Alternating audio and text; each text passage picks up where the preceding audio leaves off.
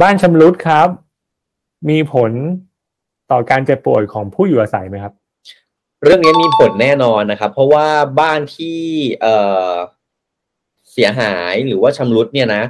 มันจะส่งผลร้ายเข้าสู่ตัวบ้านเลย เพราะว่าเวลาบ้านมันบ้านบ้านมันเสียหายเนี่ยนะครับ มันจะเกิดรอยร้าวเนาะมันจะเกิดช่องโหว่ต่างๆ อากาศเอ่ยความชื้นเอ่ยเชื้อราเอ่ย นะครับสัตว์แมลงมีพิษเนี่ยเข้าสู่ตัวบ้านเต็มไปหมดเลยนะครับ ในทางฮวงจุ้ยเองก็จะบอกว่าห้ามบ้านเนี่ยซุดห้ามบ้านเสียหาย ถ้ามีจุดไหนก็ตามที่เราเห็นว่ามันร้าวมันแตกนะครับ เราต้องทำการซ่อมแซมทันที เพราะว่าไม่เช่นนั้นแล้วเนี่ยมันจะส่งผลต่อสุขภาพของผู้อยู่อาศัย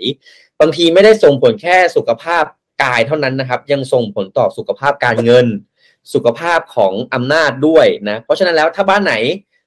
ชำรุดเสียหายนะครับ ต้องซ่อมทันที อย่าให้มีรอยแตกรอยร้าวรอยซุดเลยเด็ดขาดครับฮวงจุ้ยห้ามเด็ดขาดเลย